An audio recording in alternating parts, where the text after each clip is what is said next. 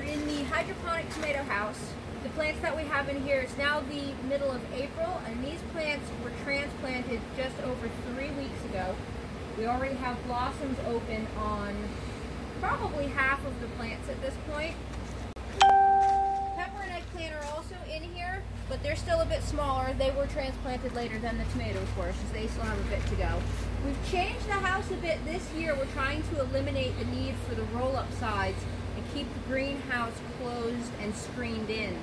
So what we're using predominantly this year is the ventilation fans. Uh, we have uh, fans that are connected to um, a snap switch so that when it gets to a certain temperature, they'll come on automatically and start ventilating the house. At the opposite end of the house is a window to um, allow the intake of air that then gets blown across.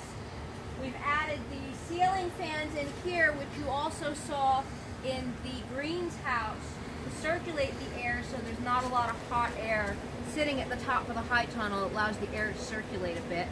Um, both at the fans and the intake window, we've put screens across so that should keep any insects out.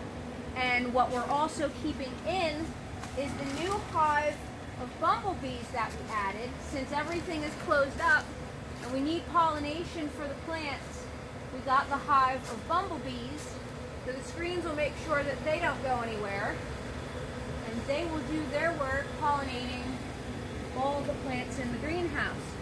So hopefully with these changes this year, we can see um, an improvement in pollination with the bees and uh, less need for us to uh, open up the roll-ups. It should be more automatic with the fans coming on by themselves and ventilating the house.